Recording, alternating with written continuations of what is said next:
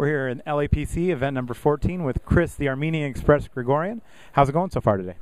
So far, so good. Thank you. I'm still in. 27 people left.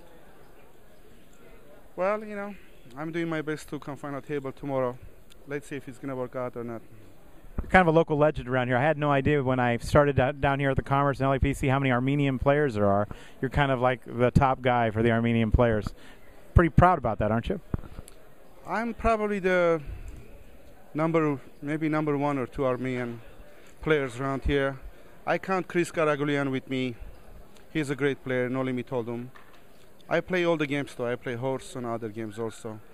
But after I uh, became a little bit famous, a lot of Armenian kids are coming down and they're trying to to become better Armenian players, I guess. If they can catch me up with me, I'm happy for them. But, you know, hopefully 2010 is my year. Hopefully I, I can make big scores this year also. This is event number 14 of 51. What are your plans going forward? I mean, is it a goal always to make it into the main event of the LAPC? Of course, that's the goal. That's the idea.